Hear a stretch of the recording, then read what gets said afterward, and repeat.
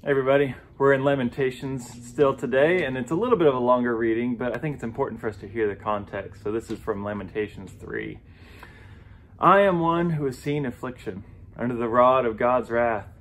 He has driven and brought me into darkness without any light. Against me alone he turns his hand again and again all day long.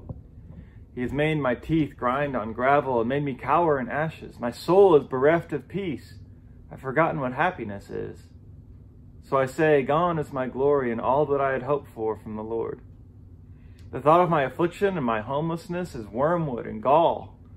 My soul continually thinks of it and is bowed down within me. But this I call to mind, and therefore I have hope. The steadfast love of the Lord never ceases. His mercies never come to an end. They are new every morning. Great is your faithfulness. The Lord is my portion, says my soul. Therefore I will hope in him. The Lord is good to those who wait for him, to the soul that seeks him. It is good that one should wait quietly for the salvation of the Lord.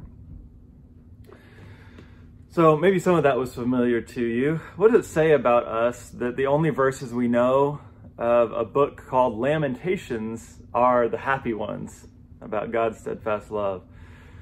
Now, I probably, if I'm being honest, I think it's less that we have this strong hope and faith, and it's more that we have a kind of naive, blind optimism, right? Or it's this attitude of, well, let's not dwell on our grief, let's just ignore it and move on, which also conveniently lets us ignore what may have put us in such a lamentable position. And according to this reading, though, who is it exactly that puts us in these positions? This book puts the blame directly on God. Right? God's hand did this. God is putting me through this. God is making this happen to me. Uh, as I've said before, there are other passages, uh, including most of what Jesus says, that have a more nuanced view of why bad things happen. Uh, but it is a view that's that's worth thinking about. Um, as I've also said before, God's wrath, as we see it consistently in Scripture, is not God getting angry. It's God handing us over to what we think we want. Um, God letting us have uh, the consequences of our, our own choices.